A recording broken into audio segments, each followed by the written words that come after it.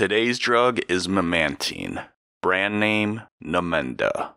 The pharmacologic and therapeutic class is that it's an N-methyl D aspartate or NMDA receptor antagonist. Dosage form and strength.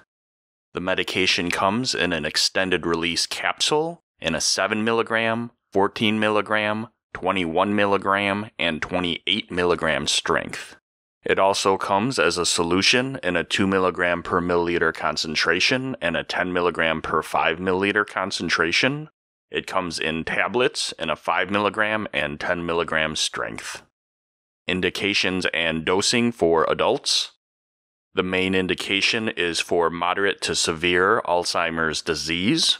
The treatment dose is 10 milligrams by mouth twice daily. When initiating, start at 5 milligrams by mouth every day with 5 milligram per day increases every week up to a max of 20 milligrams per day. Doses greater than 5 milligrams per day should be administered twice daily. An off label use for memantine is in dementia that is related to Parkinson's disease or for Lewy body dementia or vascular dementia. The dosing is similar to when treating Alzheimer's disease. Mechanism of action and pharmacology. It is proposed that overstimulation of glutamate receptors lead to excitotoxicity and neuronal cell death, causing Alzheimer's disease. Memantine is an uncompetitive antagonist of glutamate receptors located throughout the brain, specifically the N-methyl D-aspartate or NMDA glutamate receptor. Memantine blocks receptor function, affecting magnesium binding, and suppresses excessive stimulation without affecting regular neurotransmission. Memantine is well absorbed, it is partially metabolized hepatically with three metabolites formed that have minimal activity. The medication is around 74% excreted in the urine with pH dependent tubular reabsorption, in which alkaline urine reduces excretion. The half life elimination is around 60 to 80 hours, and memantine is around 45% protein bound.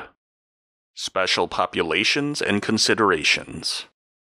For the renally impaired, the AUC is increased by 4 to 115%, and the half life is increased by around 18 to 95% based on mild to severe impairment.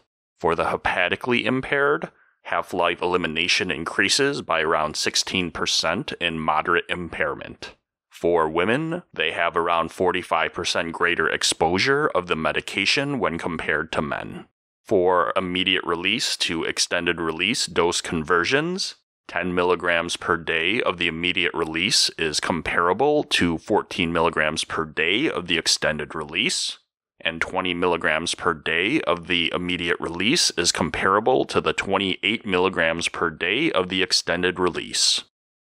Side effects Some common side effects are aggression, fatigue, back pain, cough, dizziness, headache, constipation, anxiety, and depression. A serious side effect is Stevens Johnson syndrome. Drug interactions.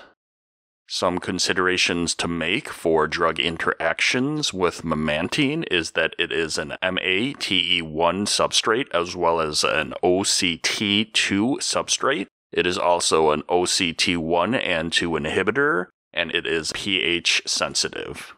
Some contraindicated drugs of note avoid the use of dofetilide, monitor with procainamide, and cautions with drugs such as cimetidine, amantadine, entecavir, ondansetron, verapamil, and pramipexole.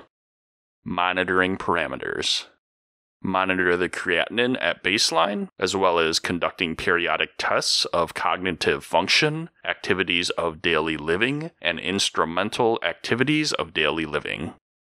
Patient counseling information. Memantine is approved for use in Alzheimer's disease. It is very important to note that memantine does not cure Alzheimer's disease. It also has off label uses in the treatment of various forms of dementia. Memantine may only improve functions such as memory, awareness, and the ability to perform daily functions. The medication can be taken with or without food, and extended release capsules may be taken whole or opened with the contents taken in entirety.